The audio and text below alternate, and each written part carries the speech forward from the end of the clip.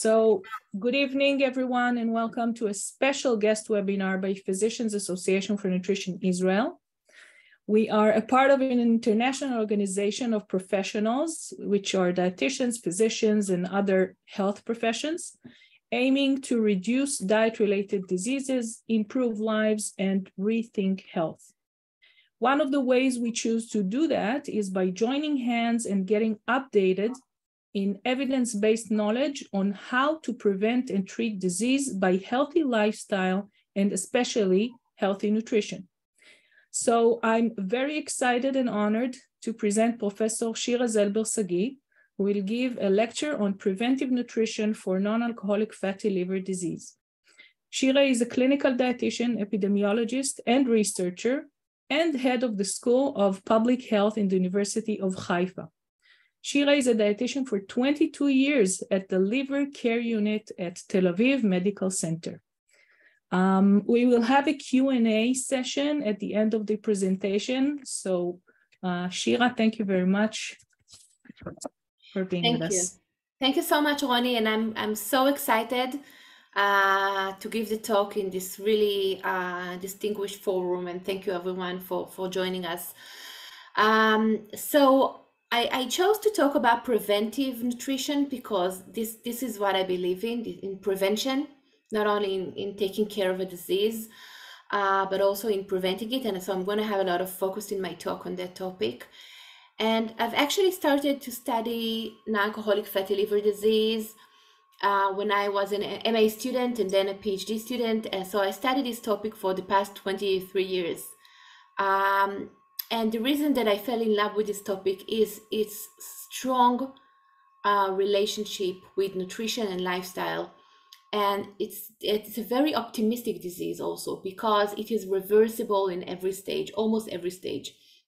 So um, I'm, I'm really happy again for the opportunity to, to have discussed my favorite topic uh, with you. So Actually, um, the, the uh, importance of NAFLD is, is growing in the past decades, and it is clearly the most prevalent liver disease nowadays.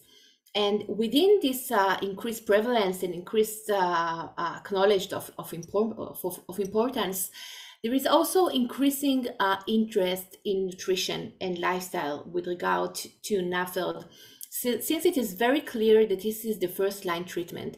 And just to show you the evidence of this important, uh, and also to get you familiar with this paper, this is a non-alcoholic fatty liver disease patient guideline and also guideline for the non-expert physician. I, I, really recommend to go over these guidelines if you want to get a good overview of this disease. And what I'm proud of is that a lot of from a lot a large part of the, of these uh, papers is actually devoted to nutrition and lifestyle. So this is a main issue in the prevention and treatment of NAFLD. And before we start, I would like to give you some um, basic terms uh, and, and background uh, on non-alcoholic fatty liver disease. Um, so actually, NAFLD includes a wide spectrum of, of liver disease. It includes NAFLD without the D, non-alcoholic fatty liver, without the D because this part means only hepatic steatosis, only liver fat. And then we can have the more progressive uh, form of the disease called NASH, non-alcoholic steatohepatitis. And what is interesting about this disease that this separation is not constant, it's not static. And actually patients move all the time from one side to the other. So if they have a healthy lifestyle, they can quite easily, uh, maybe not easily is the right uh, word, but with reasonable effort, they can move from NASH to, um, to NAFLD and also vice versa. And within the NAFL, NAFL and NASH, we have cirrhotic patients, and unfortunately, unfortunately, I see a lot of them in my uh, liver disease clinic, which can become decompensated and would need liver transplant. And what is really important for me to emphasize that these patients have higher tendency to develop hepatocellular carcinoma. Now, please see that we are used to see HCC in cirrhotic patients. In about 5% of the cirrhotic patients can, in any liver disease, can develop HCC. But in NAFLD, also those without cirrhosis might develop HCC. So we need to be aware of that this disease specifically can lead to liver cancer even without the phase of advanced liver disease of cirrhosis. I would discuss shortly also about cirrhosis and prevention in, this uh, talk. And when we discuss about non-alcoholic fatty liver disease, of course, we exclude alcohol consumption, first of all.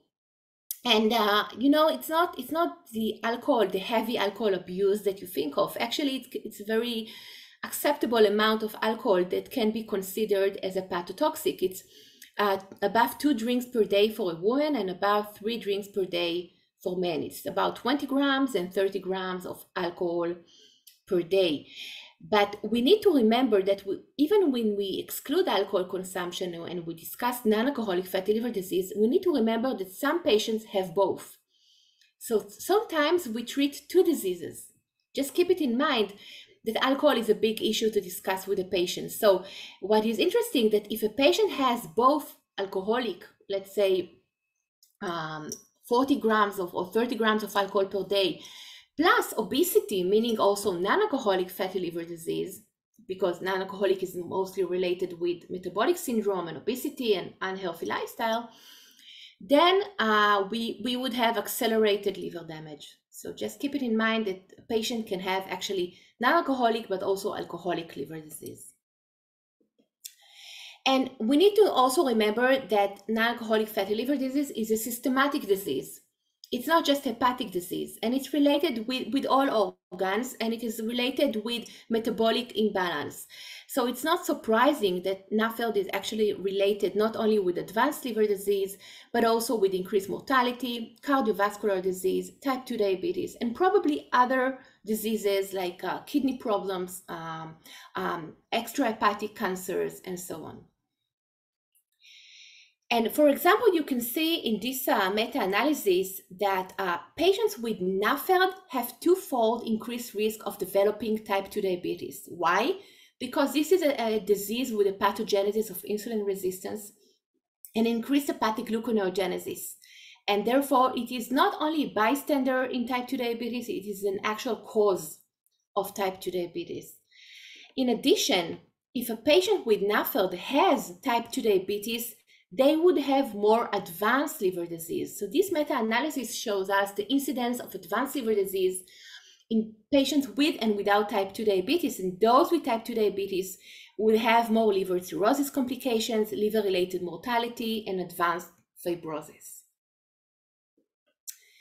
And as I said, NAFLD is also related with increased cardiovascular risk, about, about 64% increased chance of having cardiovascular disease if you have NAFLD as compared to those who don't. These are all prospective cohort studies, of course.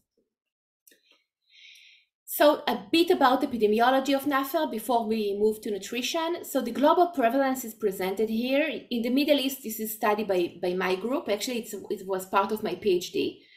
So in a population in, at the age of 50 and above living in the center of Israel, it was about 30%. The prevalence is usually higher among men, maybe because of abdominal obesity.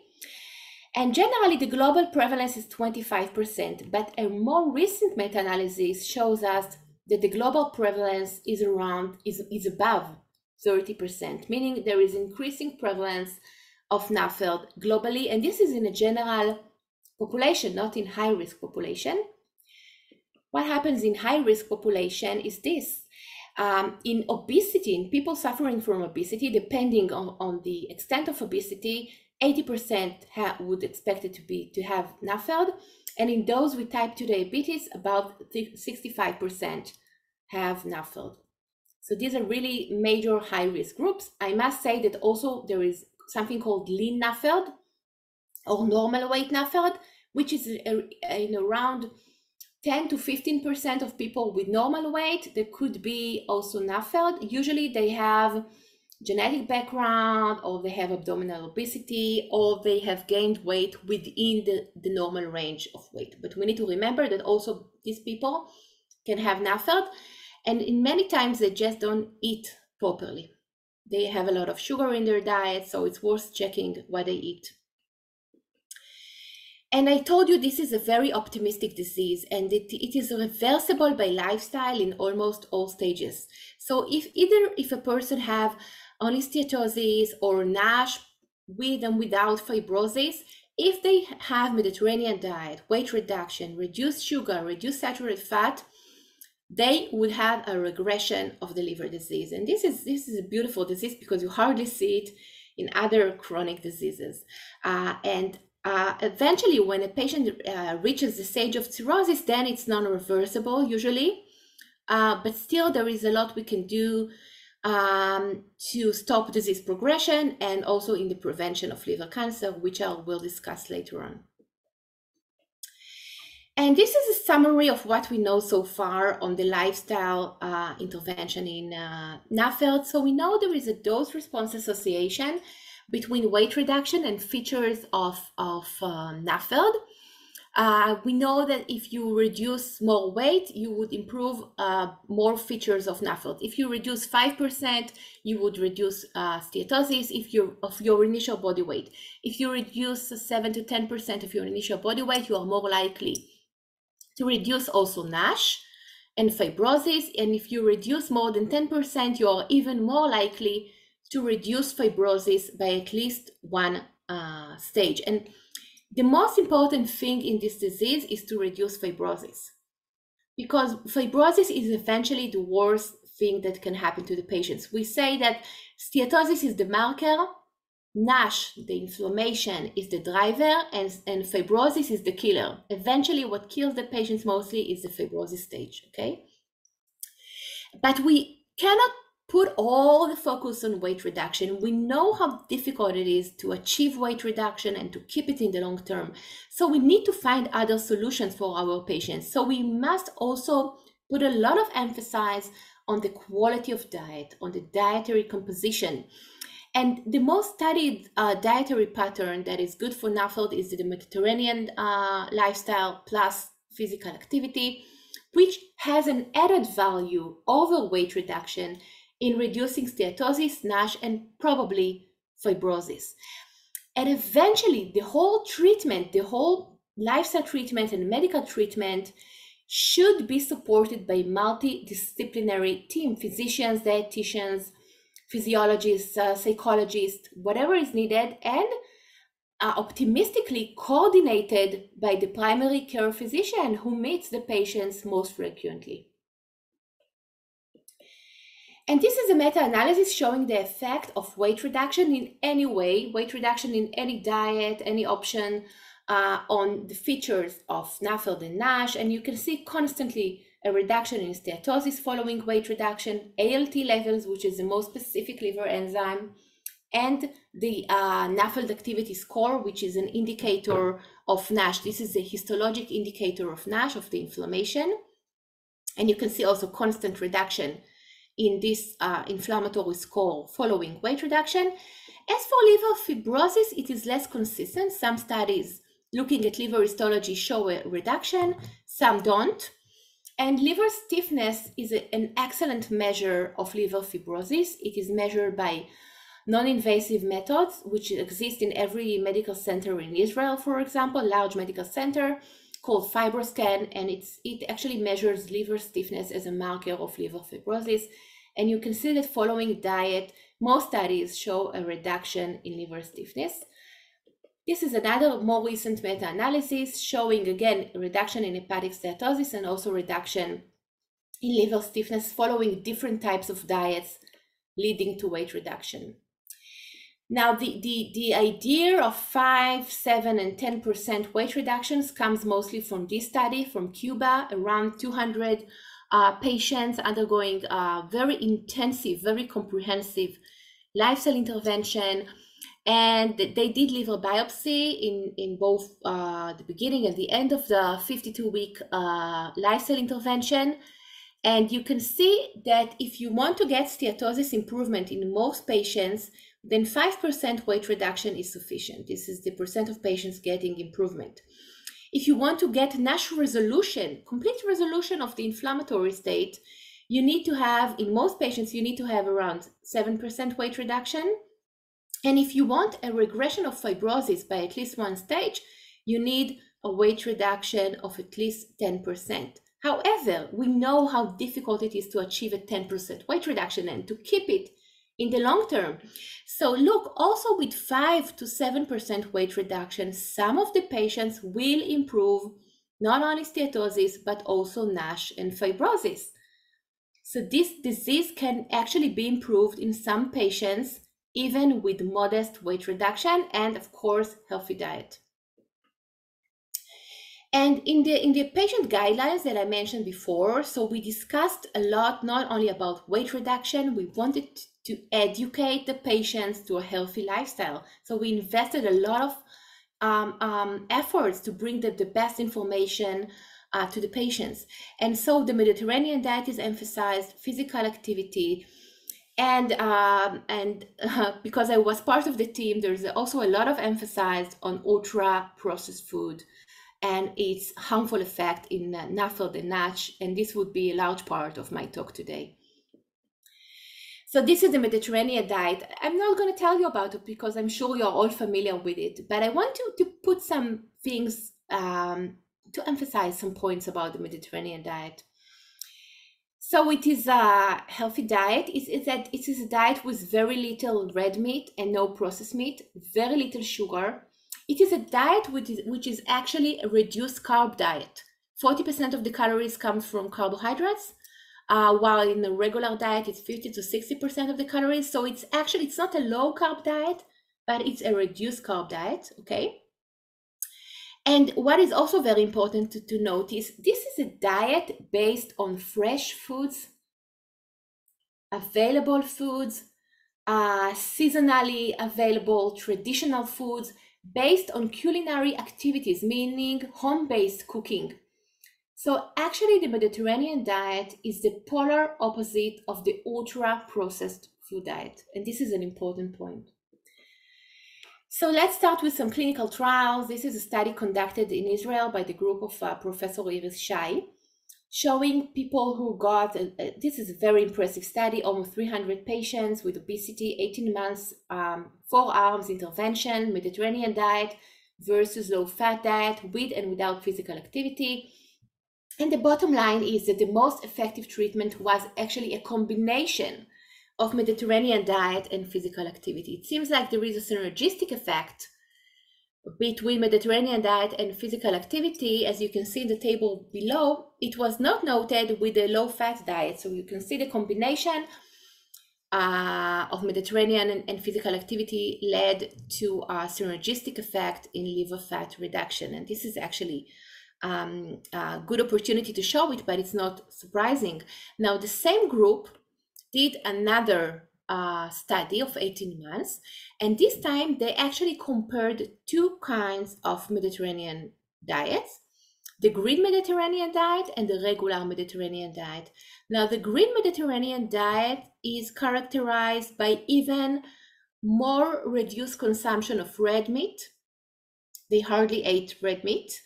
They ate more, more walnuts, which are rich in, in omega 3 fatty acids, which are known to reduce liver fat, and polyphenols. And they also had other sources of polyphenols as the mankai plant and green tea. And although in both arms of Mediterranean diet, weight reduction was similar, you can see that the, the, the liver fat reduction was almost twofold in the group of the green Mediterranean diet. And this actually emphasizes the importance of dietary composition. So although weight reduction was the same, the addition of omega-3 polyphenol, reduction of, of meat, of red meat consumption was related with greater improvement of liver fat. Uh, actually, we in a cross-sectional study in uh, Israeli population also looked at subgroup of polyphenols, phenolic acids, in the diet. We uh, evaluated almost 800 people in Tel Aviv Medical Center, uh, and we looked at, at ultrasound and we looked at fibrosis markers called FibroTest. This is a validated fibrosis marker uh, taken from a blood test. And we looked at phenolic acid content in the food calculated by Phenol Explorer. There is, there is a database with, with phenol content in, in foods. And what we've shown shortly in this study is the the higher consumption of phenolic acid is related with less uh, prevalence of NAFLD and less prevalence of liver fibrosis as evaluated by fibrosis uh, markers. You can see foods which are rich in phenolic acids in the picture here uh, below, and you can see that walnuts, fruits, vegetables, coffee, and tea are included. A bit about carbohydrate diet. There are many types of carbo of low carb diets. As I said, Mediterranean diet is actually a reduced carb diet. Uh, but if we if, if, we talk about low carb diet, then 25% of the calories coming from from carbs, and then there is the more extreme form of low carb diet, uh, which is the keto diet, of course, with less than 5% of the calories coming from carbohydrates. Um, Actually, um, this meta-analysis showed that there is no difference in the efficacy between low-fat diet and low-carb diet in the treatment of NAFLD. It's only a matter of how much weight reduction they get when you follow them for a couple of days, then you see that the low carb diet may be more efficient. But when you keep following them, the patients for a couple of weeks, you see that what actually um, uh, sets the, the amount of liver fat reduction is actually the weight reduction. So it doesn't matter how it is um, achieved. As for the keto diet, there is very, very little uh, evidence, very short term, um, small trials. So I didn't get into it um, in this uh, in this talk, but we can discuss it in the end. Um, a bit about uh, intermittent fasting. Uh, intermittent fasting, uh, it's a very nice way to treat the patients. Actually, many patients feel very comfortable with it. Um, uh, it has been uh, there. First of all, there are several um, forms of intermittent fasting. There is no one form. There is the alternate day fasting. You kind of fast one day and feast one day there is the 5-2 diet, five days you eat whatever you want, but generally healthy. And two days it's uh, just 500 calories. And there is the time restricted eating, the 8-16 restriction, or other more severe restrictions on the time that a person can eat. All of them has been uh, demonstrated to have some beneficial effect on the metabolic syndrome, blood pressure, and so on. Um, they generally lead to uh, weight reduction, uh, but it's inconclusive whether the intermittent fasting method is better than the usual diet in terms of weight reduction or metabolic improvement. Uh, it is still debated. I think that eventually the patients can choose whatever they feel comfortable with. In terms of NAFLD, there is very little evidence. This uh, short uh, term study uh, of 12 weeks compared a alter alternate day fasting and time restricted uh, fasting, the two diets, versus a control diet, uh, which was not without intervention. And they showed that both um, um, intermittent fasting uh, methods uh, led to similar uh, body weight reduction and quite similar reduction in fat mass and uh, disappointingly, none of them has led to significant improvement in liver stiffness measured by uh, FibroScan. But the point is that it was safe. And so patients can actually um, do it if they feel that it's more comfortable to them. Uh, and this is a, a bit uh, more interesting study uh, to me because uh, they compared um, the 5-2 uh, diet as compared to low carb diet uh, NAFLD patients as compared to um, control. Uh, and this was again a short-term study of 12 weeks in 74 patients. Uh, and you can see that patients indeed changed their diet. In the low-carb diet, they really reduced the carb in intake and increased the, the fat intake. But eventually, in 12 weeks, they reduced um, uh, body weight to a similar extent, about seven and a half kilograms and reduce the amount of liver fat to a similar extent. What does it mean? It means that intermittent fasting is no better than a regular diet, but it is really another option. Again, I'm looking at, at the at the at the optimistic side of this uh, story that patient can really choose to do this diet. It is safe, and it is at least as good as a regular diet. Now, we talked a lot about weight reduction, and I really want to move talking about dietary composition. This is what I believe in most, not, not focusing all the treatment on weight reduction, but rather keep weight reduction as part of the treatment, but not the only uh, measure of success. So let's, uh, let's look at dietary patterns. These are observational studies showing that a Western dietary pattern rich in ultra-processed food, for example, is related with increased risk of NAFLD, while healthy types of diet, including Mediterranean diet, are related with reduced prevalence of NAFLD. And this is another study looking specifically at food groups. This is a meta-analysis. Again, I show a lot of meta-analysis because there's a lot of literature to, to we should summarize. So red meat is actually related with increased risk of having uh, NAFLD. Soft drinks are related even with a greater risk of having NAFLD, 30% greater risk of having NAFLD. And at that point of my talk, people usually start saying, okay, but so we can't eat anything, we can't drink anything. But that's not true because if you look here at the, at the gray zone uh, of this figure, these are all foods that are either harmful uh, or good, but they can be eaten uh, regularly by patients with NAFLD without any special uh, prob problem, of course. Fish may, may be even protective because they can be rich in omega-3 fatty acids.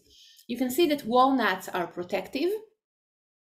And you can see in the orange the harmful foods, which is red meat, processed meat, and soft drinks.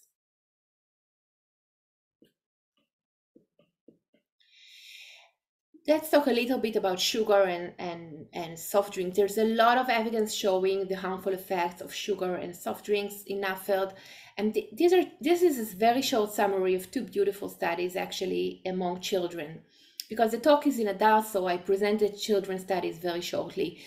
Uh, this is a study showing that infants at the age of one year who consume two or more uh, sugared beverages, it can be also fruit juice and food concentrates, are uh, threefold more likely to have NAFLD at the age of 10 year old, regardless of body weight. Okay, this is an American study. And another study, Italian study, which is pretty amazing. This the Italian study below uh, actually showed that children with with um, who, who, about 200 children underwent liver biopsy. Okay, this is a very rare uh, uh, study. And they showed that if they consume a lot of fructose in their diet, they have one and a half fold to have not only NAFLD, but to have NASH, to have the more advanced form of liver disease. It was strongly and independently, regardless of BMI, related with having more advanced liver disease among children. Okay. Let's move to adults. This is just one example of many. This study is uh, it's a large prospective cohort study. This is why I chose it. Shows us that if you have four serving per week, not so much per week, of sugared beverages, you would have about 50% increased chance of developing um, NAFLD. And there is a dose response association between the amount of soft drinks, sugared soft drinks, and NAFLD. Now, there's always the question which is worse, glucose or fructose or, or both. And this beautiful study actually looked at um, fructose, sucrose, and glucose. Now, you know that sucrose contains both glucose and fructose, right? Uh, so they took healthy men with normal weight and they provided them for seven weeks sugar beverages containing either one of these sugars. And what they have shown that only the fructose containing drinks, the fructose and the sucrose, led to significant increased uh, hepatic de novo lipogenesis. Okay, only those fructose containing drink actually increase the amount of liver fat. So I'm not saying that glucose is fine, but definitely fructose is the major uh, problem when it comes to liver disease. What about fat? So there, this is a beautiful review from Nature shows us that repeatedly uh, feeding studies, uh, which last from a couple of weeks, uh, usually usually a couple of weeks, um, which provided patients uh, or healthy people with overload of either saturated fat or isocaloric amount of unsaturated fat const constantly show that only saturated fat increase the amount of liver fat, not polyunsaturated fat, although the, the, the caloric uh, intake was the same. So saturated fat is not good for non-alcoholic fatty liver disease, and we can discuss it further in the discussion. Um, the, the meaning of it, for example, for the ketogenic diet. So I, in this uh, review we published this year, I try to summarize what are what are the most evidence-based diet and, and what are the things that should, we should always remember when it when we treat patients. So Mediterranean diet is in green. It's the most evidence diet in NAFLD, and then we have the low fat and the low carb diet, which are e equally evidence-based, and then we have the less evidence-based diet, the time restricted eating, and the ketogenic diet that is has no evidence almost at least in NAFLD. Uh, and the point in this figure is that patients can choose the diet they want. You discuss with the patient, you learn what they eat, you learn what they want, and you try to tailor the diet to their needs and preferences. But whatever you do, if you choose a ketogenic diet, if you choose a low carb diet, please stay within the guidelines of Mediterranean diet. Please try to keep the dietary composition the closest as you can to Mediterranean diet, meaning don't provide a patient with low carb diet, which is super rich with saturated fat, okay? Because we don't know then if this diet won't have long-term harmful effects. So whatever you do, keep it within the guidelines of Mediterranean diet. And even if you do time restricted eating, you can do time restricted eating with any of these diets. You need to keep these principles. And what is most important is that uh, these foods below should be kept out. The ultra processed food, the processed meat, saturated fat, sugar, and mostly sugar beverages should always be kept out because there is a, a significance of the dietary composition, not only the weight reduction. So we recommend the patients to have Mediterranean diet. How nice of us. But in practice, they need to face these foods on the right. And in fact, the population consumes huge amounts of ultra processed foods, sugar, and saturated fat. So, ultra processed food is actually uh, a major source of added sugar, the, the sugar that, that is actually related with harmful effects. When I talk about sugar, I don't talk, I don't talk about eating uh, fruits and vegetables, okay? I'm not talking about the natural sugar. I'm talking about the added sugar. And by the way, uh, fruit juice are included in the added sugar because it's not, once you squeeze it and put it in a bottle, it's not, it's not a fruit anymore, right? It is something else. So this is the ultra processed food is a major source of added sugar and saturated fat and other unhealthy uh, compounds. And in fact, 50 to 60% of the total calories in many Western countries comes from ultra processed foods. And ultra processed food is not only sugar and fat, it's also other things because we have the colors, we have things that are, are formed unintentionally within the food preparation in the food industry. For example, when food is prepared in the industry with a lot of sugar and in very high temperatures, um, then we have formation of advanced glycation end products, which are glycotoxins, and I will discuss it um, uh, in a few slides. So nobody intends to create them, but they are formed in industrial foods. Uh, and uh, for another example is the bisphenol A, because because ultra processed foods comes in packages, and these packages are in contact with the food, and so all kinds of compounds move to the food, and we eventually eat them. And the BPA is a good example, and I will show you in a minute. So ultra processed food is is a whole world of not only nutrients, but also compounds and other things that are unintentionally found in the foods. This is the consumption of ultra processed food in different countries. Just see how big is the consumption among children and adolescents. This is just unbelievable. Okay, so ultra processed food, it's like not a real food mostly because it is very synthetic. It underwent a lot of industrialized processes and the meaning is with ultra processed food is that it is very far from the original foods it was made of. So if you take a schnitzel in the form of a, of a dinosaur, right, it wasn't like that in nature. So a lot of things happened to turn it to a form of a dinosaur. Or if you take a cereal with all kind of morning cereals with all kind of colors, it is very far from the grains it was made of, right? So the ultra processed food has gone a lot of processes that you would never do in your kitchen, using ingredients that you would never use in your kitchen, like palm oil and all kind of hydrolyzed proteins and high fructose corn syrup and colors. These are things that you don't use in your kitchen. You would find in the list of, of ingredients in ultra processed food. It is designed to be hyper palatable and therefore increases obesity. There are many studies showing increased obesity with the consumption of ultra processed food. And it is designed to be highly profitable, to have long shelf life, and, and again, to induce consumption. And of course, it usually, usually, not always, but usually has low nutritional quality. So we looked in an Israeli population at the association of ultra-processed food and metabolic syndrome and significant fibrosis by fibrosis markers. This is the same population that I've showed you before on polyphenol studies. Now we evolved and uh, analyzed the data on nutrition by the NOVA classification. This is the most acceptable classification of ultra-processed food. And what we, you can see here is a dose-response association between the percent of consumption of ultra-processed food from calories and the presence of metabolic syndrome among NAFLD patients. Why is it important? Because the more NAFLD patients have metabolic syndrome, the more the liver disease is progressive. They are more likely to develop advanced fibrosis.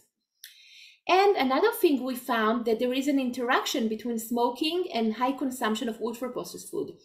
If a patient ever smoked and eats a lot of ultra processed food, is more likely to have advanced fibrosis, okay, according to fibrosis markers. Of course, it's a cross-sectional studies with the limitation of a cross-sectional studies.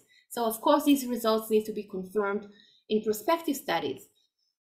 And here, here it is, a prospective study of 16,000 people.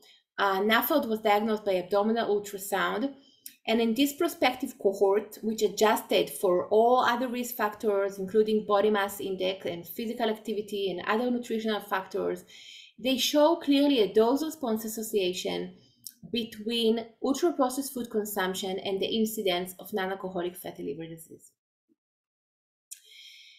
Now, part of the ultra processed food is ultra processed meat. And part of the Western diet or the opposite of Mediterranean diet is high consumption of red meat. So we have a lot of focus around this topic. And in this case control study, we have looked at the American uh, population from the United States, from the multi-ethnic uh, cohort, huge sample size case control study. Um, and we looked at NAFLD with and without cirrhosis, meaning just NAFLD or patients with really advanced liver disease. And what we've shown in this study is that high consumption above the fourth quartile of consumption of red meat is related with NAFLD with cirrhosis. Processed meat was rated with, related with NAFLD. Poultry was also related, but I must say that uh, in most studies, poultry is not related with NAFLD. Uh, and high cholesterol intake was related with NAFLD with cirrhosis, and not surprisingly, maybe high fiber intake was actually a protective factor from NAFLD. So you can see how it correlates very nicely with the concept of Mediterranean diet. And again, we are back to, to our population, the Israeli cohort that we have at the Tel Aviv Medical uh, Center in collaboration with the University of Haifa. And actually the same study population that I presented earlier, we did a follow-up uh, on this population of about seven year follow-up on average. And we asked them to come again and do the same test that they did before. And so we defined uh, the group that had either instant new onset of NAFLD or persistent NAFLD, meaning they had NAFLD both in the baseline and then again in the seven uh, year follow-up. And we compared them to people who had remission of NAFLD or never had NAFLD in any of the surveys. And what we found that high uh, consumption of meat at baseline was related with greater incidence or persistence of NAFLD. But when we looked further at the meat typed, we saw that the association wasn't, wasn't with poultry, it was only with red and processed meat, which actually were related with incident or persistent NAFLD. Moreover, in the follow-up study, we had FibroScan, which is a very good tool, as I said, to measure fibrosis. So we looked at significant fibrosis by the FibroScan, and we, we uh, could see that red and processed meat consumption is also related with a greater chance of having significant fibrosis at follow-up. And again, this is supported by large prospective cohort studies. This is a nurses' health study, almost 80,000 uh, women. Red and processed meat consumption were related with, um, with NAFLD, um, and uh, it was also true for processed and unprocessed uh, red meat. You can see the, the um, the association measures uh, here. Uh, and what is what this study adds is actually that they did a mediation analysis and they looked at the mediating factors and they have shown that heme iron, which is found in meat, mostly red meat, cholesterol and BMI were significant mediating factors explaining the association between red and processed meat consumption and NAFLD. And this is another study looking at liver-related mortality this time, not specifically NAFLD. But what I like about this study is again that they looked at different compounds within meat that can explain the association. And they showed that, that red meat is related with NAFLD, while white meat, which is poultry and fish, is, is actually protective from NAFLD. But what they did further is that they looked at nitrate within processed meat. And they have shown that the amount of nitrate within processed meat is actually a predictor of liver-related mortality. So this adds some knowledge to explain why uh, processed meat is related with liver disease. We also looked in, in our uh, study at meat consumption. We also looked not only at meat consumption, we also asked, how do you prepare the meat?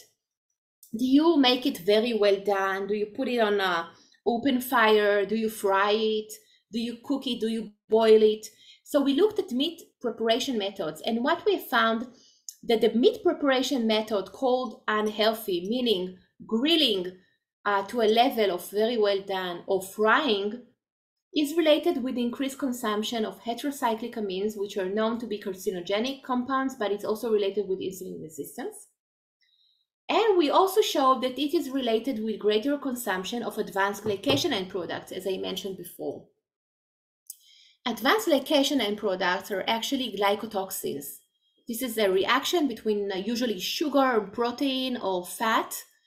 Um, and it is it happens, it is accelerated. This reaction is accelerated under uh, high heat uh, cooking and it is accelerated when the food contains more uh, fat and more sugar, either one or both.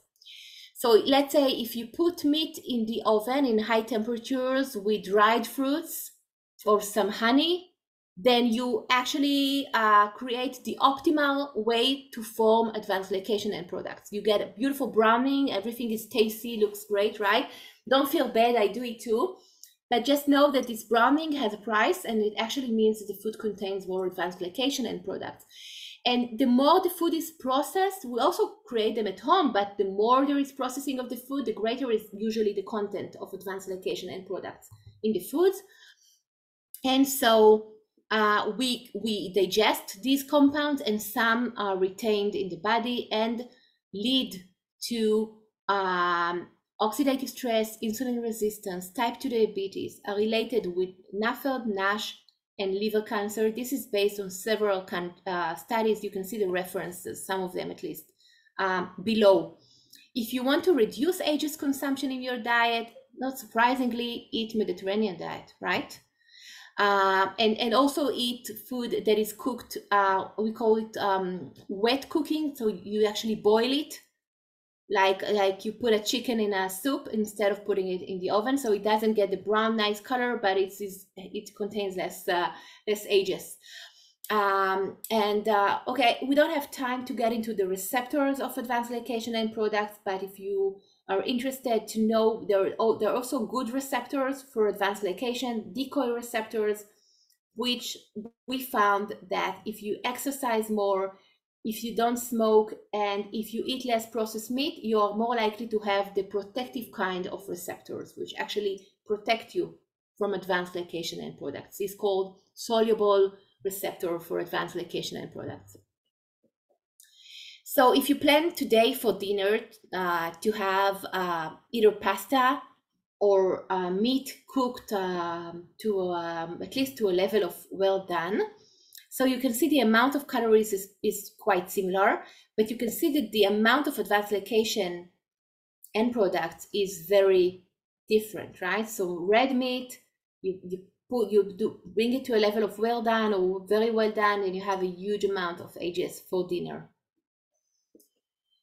Um, now, everything that I said so far about NAFLD is also true for the prevention of hepatocellular carcinoma. It is amazing. So this is actually a summary that we did in, in a paper from Seminars of Liver Disease, where we took only large prospective cohort studies or meta-analysis of prospective cohort studies, and we uh, summarized uh, the relation with lifestyle and nutrition.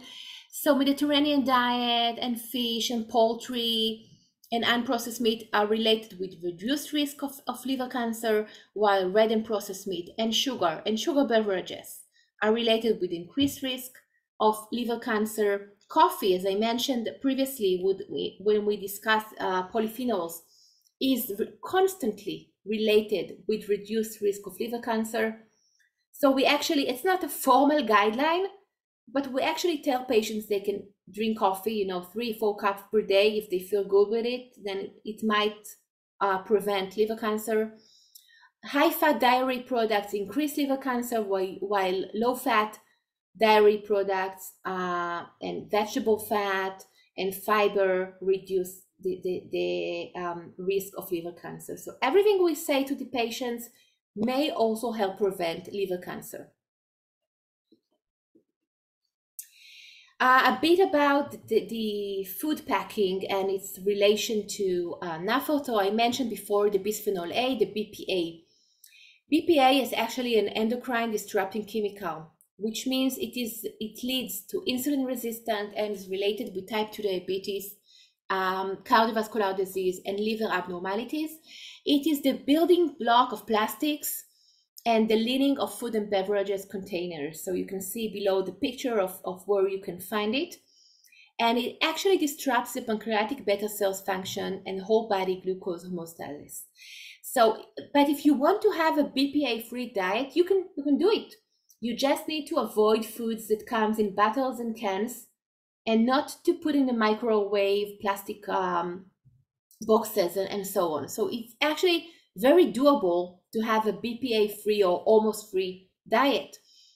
And in this study, they looked at 60 NAFLD patients with liver biopsies, and they show us that uh, they, they divide the, the um, severity of liver disease uh, in terms of inflammation, which they looked at liver biopsy, and they show us that the more you have uh, bisphenol A, uh, higher um, uh, serum bisphenol A levels, the greater you have uh, liver damage. Okay, of course, you can't conclude on, causal relationship. It's a cross-sectional study, but it's still very interesting. And they also show us that when you compare control to patients with only steatosis, with NAFLD, and patients with NASH, with more advanced form of liver disease, then you can see that plasma and urine levels of the more severe liver disease patients, at least the the plasma levels are higher. So BPA levels are higher among NASH patients. With urine, uh, you can you can see um, um, uh, greater BPA levels as compared to controls, but there is no difference between NAFLD and NASH. And then finally, they did a BPA-free diet for one month, and you can see that the levels in the serum, at least, were uh, reduced within one month. So you can actually reduce your serum BPA levels if you have a BPA free diet.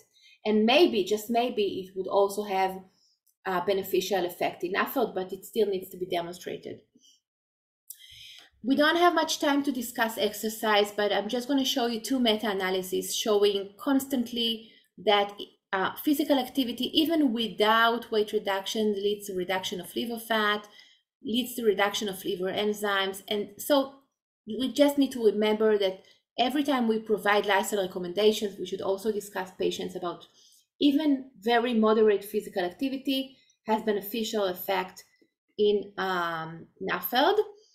Uh, sitting time is also important. This is adjusted for physical activity. So if people sit more than eight hours a day, regardless of the amount of physical activity that they do, this is a large cross-sectional study, they still have increased risk of having NAFLD. So increase physical activity and sit if you can, uh, uh, following this talk, uh, take a good walk, it would be perfect.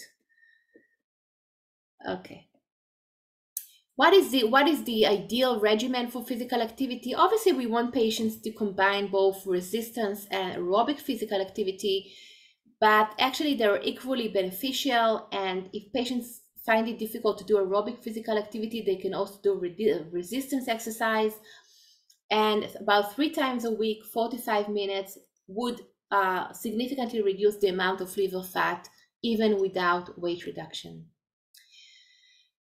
Alcohol is related with increased risk of severe liver events, uh, greater progression of fibrosis, NASH, and liver cancer in these uh, patients. This is all prospective, high quality studies summarized in this um, table. Of course, we talk about very, very moderate, modest alcohol consumption. We talk about one or less, let's say less than two drinks per day, which is very normative consumption, right? But even this consumption is harmful for NAFLD patients, so they shouldn't drink at all.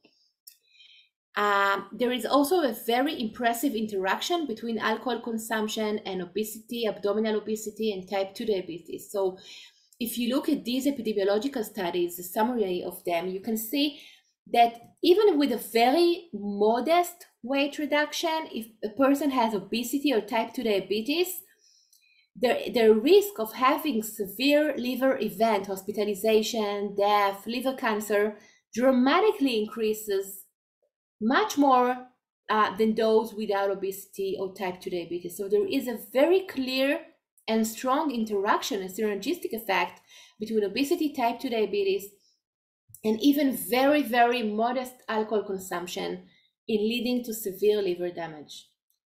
So the, the guidance for alcohol cannot be the same for people who suffer from obesity and type 2 diabetes. Another thing is that even very light alcohol consumption among patients with NAFLD is related with increased risk of type 2 diabetes. Patients without NAFLD who have modest alcohol consumption do not develop diabetes. But a patient with non-alcoholic fatty liver disease with very modest consumption dramatically increases the risk of having type 2 diabetes. And so the guidelines of the more recent guidelines from 2019 to 2022 uh, constantly recommend patients to avoid alcohol or at least to minimize. And if they have advanced fibrosis, they should avoid alcohol completely because any amount of alcohol is related with increased risk of liver cancer. We, I will finish in a, in a minute, Ronnie, but I, I want to uh, make it to say everything that I wanted, but this was expected. Sure uh, smoking is also related with NAFLD. It can be uh, passive smoking, formal smoking. This is an umbrella review of meta-analysis uh, of uh, observational studies and randomized clinical trials showing association with smoking, again, association with sugar and association with red meat. Uh, smoking is related with increased risk of fibrosis and also very, it is a very, very important risk factor for liver cancer. This is a summary of meta-analysis of prospective cohort studies showing a very strong association between smoking and risk of liver cancer.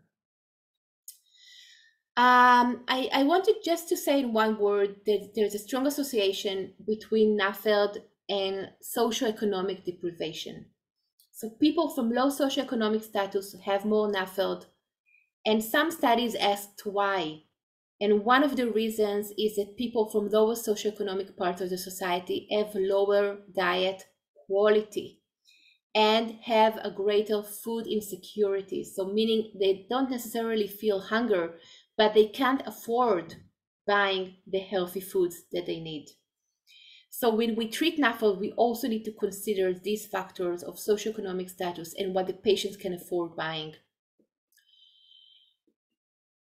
Now, it is very difficult to make lifestyle modifications, very difficult to convince patients to have changes, especially when there's the, the, the, when we have the obesogenic environment. And now there are many pills and surgeries to treat obesity, but we always need to remember two things. First of all, pills and surgeries won't work without dietary modification in the long term. So we need to do both.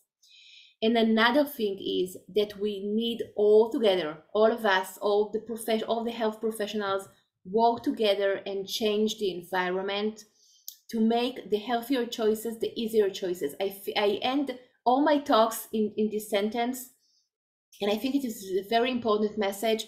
Uh, we need to work together to convince the food industry to provide us with better food, to reformulate the food, to put food labeling, which would be obligatory, like the, like we have in Israel, uh, to have the sugar beverages tax uh, going because it is really important, and of course a lot of education, especially among children and especially among populations from low socioeconomic uh, status. And if you want to read more about it, I highly recommend um, this ISALAS commission uh, paper we published, which really covers everything you want to know about non-alcoholic fatty liver disease, including policies to improve nutrition. And with that, thank you so much uh, for listening.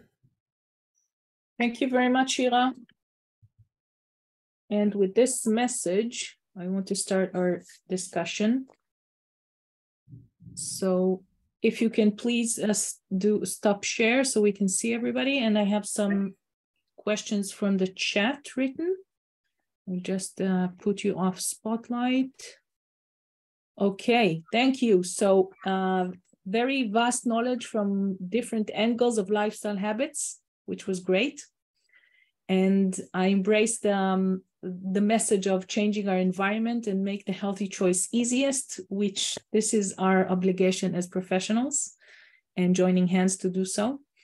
So I've written six uh, topics and questions from the chat. So I'll start with, um, do you know of any long-term studies of over three to five years, especially about low-carb diets?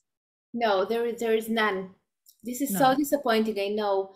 Also, I can tell you that most studies looked at liver steatosis as outcome because it's the easiest thing to look at in, in imaging, but we hardly have information on fibrosis and NASH. The most evidence we have is from the study that I showed you from Cuba, who had liver biopsies. So now, unfortunately, there is one study on Mediterranean diet of two-year follow-up showing it's um, better than low fat diet, but this is the longest study and definitely no keto studies uh, with that uh, follow up. Okay. Uh, another question is regarding weight or BMI.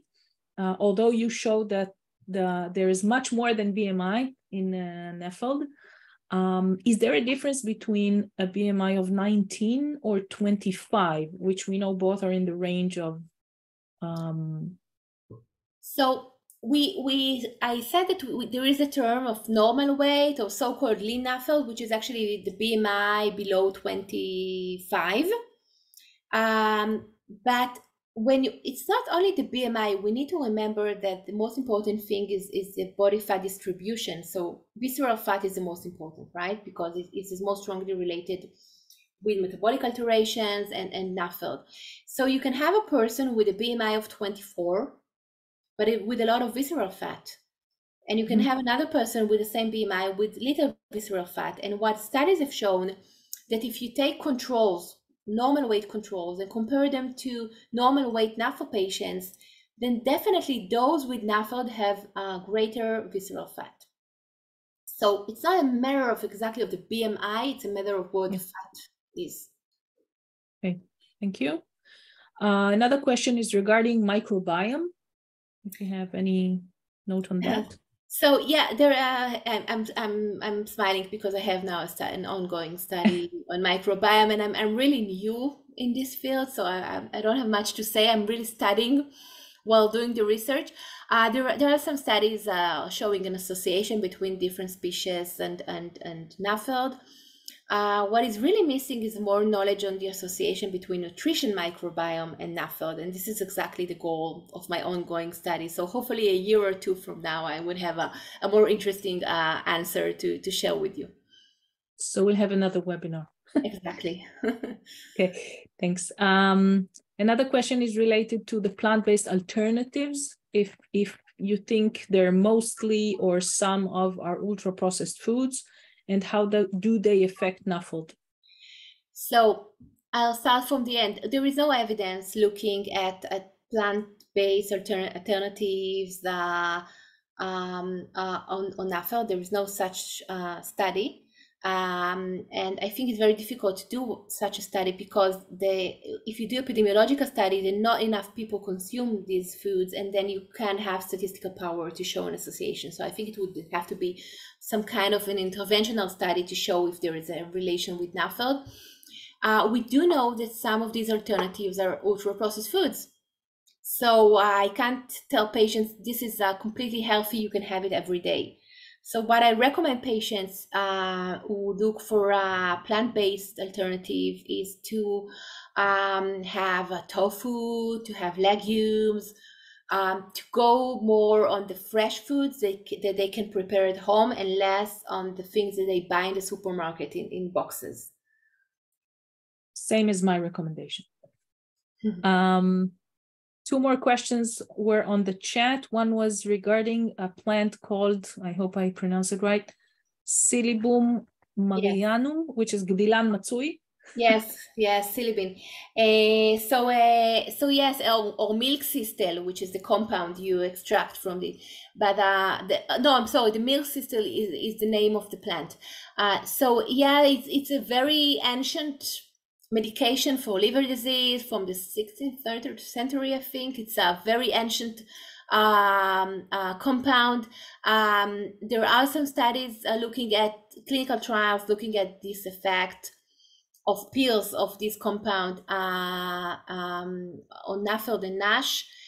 Unfortunately, they are not very high quality. Usually, they're done by the same uh, few groups, uh, and um, therefore they are not included in any of the guidelines. Not the European or the American. Any of the guidelines uh, does not include anything about these uh, compounds. There is no recommendation uh, I don't mind that patients will take it if they want to. Uh, it's usually safe, but I really can prom- can't promise uh, them anything. We don't have enough high quality evidence.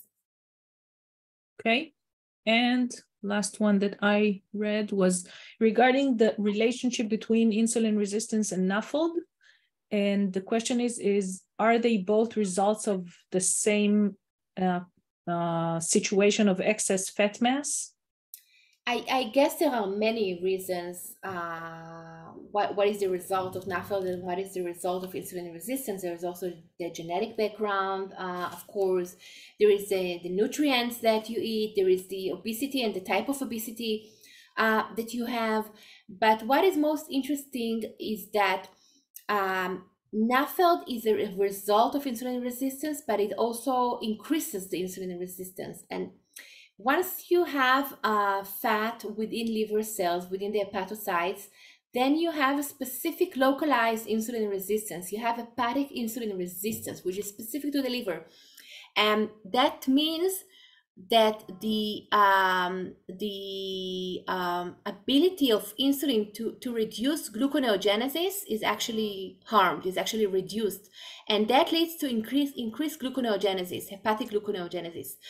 And then the, the pancreas uh, secretes more and more insulin, but within the years, we know that it can't uh, exert, exert anymore. And then we have the beginning of type 2 diabetes, right?